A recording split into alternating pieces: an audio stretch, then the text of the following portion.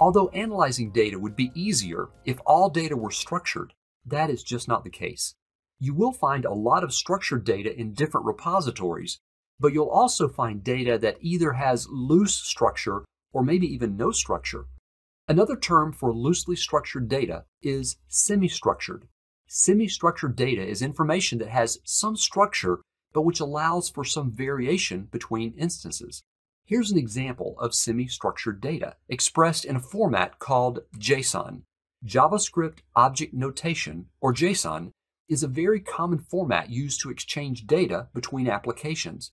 When interacting with today's distributed environments, it is common to see JSON being used to exchange data between distributed application components.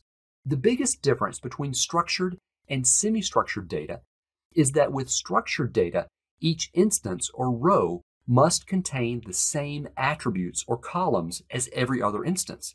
Recall that each row in a table has all of the same columns of other rows. With semi-structured data, the attributes can change from one instance to another. Look at the customers in this JSON example. You see two customers. The first customer instance includes a telephone number and an email address while the second customer only has an email address.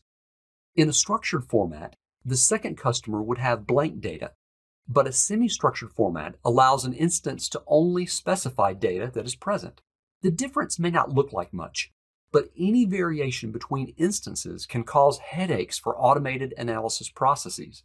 When dealing with semi-structured data, you must consider all of the potential attributes in your dataset.